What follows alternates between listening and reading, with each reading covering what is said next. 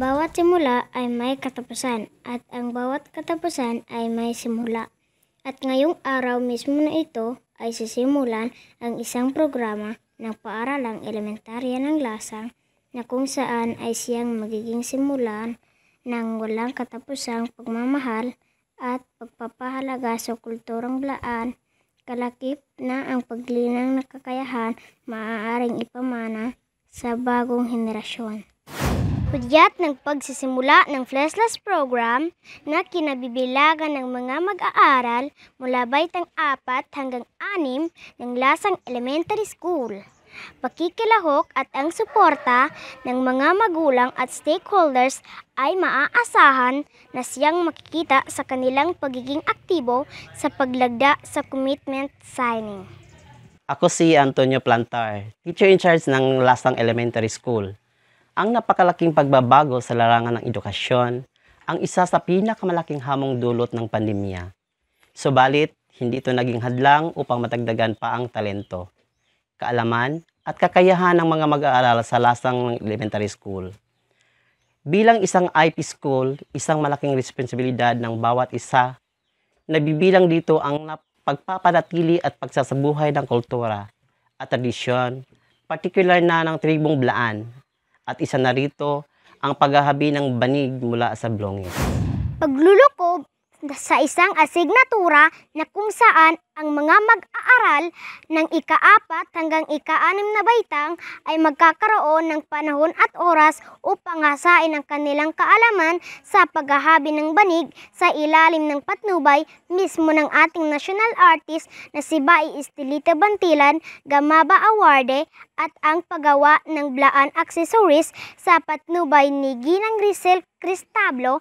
At ito ang naging tugon ng pamunuan na paaralan na si Ginoong Antonio T. Plantar. Lasang Elementary School launches its School Initiative Intervention Program, following leaders enhancing skills through long-term engagement on mat weaving and blaan accessories making. The trainer was recognized way back January 6, 2016, gawad sa Manilikha ng Bayan.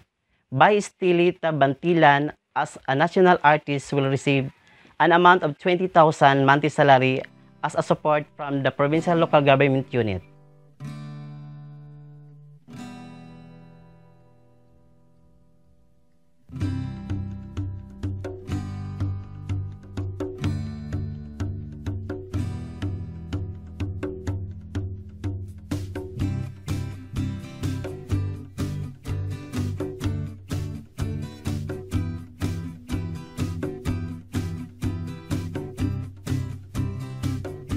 Sa kabila ng mga balakid, buong tiyagang tinuturoan ni Bayi Estelita at ng kanyang anak ang mga mag-aaral mula sa preparasyon ng mga gamit na gagamitin hanggang sa paghahabi ng banig.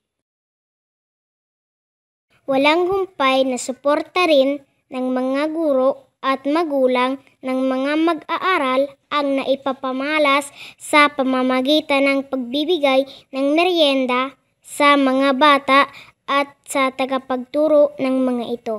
Ako si Anishel L. Tumandan, mama ni Stephen Braille L. Tumandan. Nagapasalamat kog dako sa atong Ginoo kay ang akong anak nagapadayon sa eskwela sa Lasang Elementary School. Uh, grade 5 siya karon. Uh, ko sa iya ha kay luyo sa pandemic. Sa gihapon nagapadayon sa sa pag-eskwela og uh, bilang isa ka ginikanan bilang isa ka mama nga nagapadayon ko sa pagsuporta sa iya bisan sa iyang pag-eskwela ug hantod karon. Nang dahil sa programang ito, inaasahan na mas mapanatiling buhay na buhay ang kultura ng blaan sa pamamagitan ng paghahabi ng banig mula sa blungis sapagkat na ipapasa ang kaalaman ukol dito sa mga bagong henerasyon. Las Gamo, Digamaba Cultural Center, Amda Ilasang Elementary School. Pinaniniwala ang isa itong mabisang mekanismo upang mas lalo pang mapanatiling buhay ang kaalaman sa paghahabi ng banig lalo't higit sa mga kabataan na siyang inaasahang magpapatuloy ng nasimulan ni Bai Estelita Bantilan na isa ring residente ng sitio Upper Lasang. Mula rito sa Lasang Elementary School, ako ang inyong insider, Fiona Jane T. Lucas, Batang Sarangan, tungo sa matatag na kinabukasan.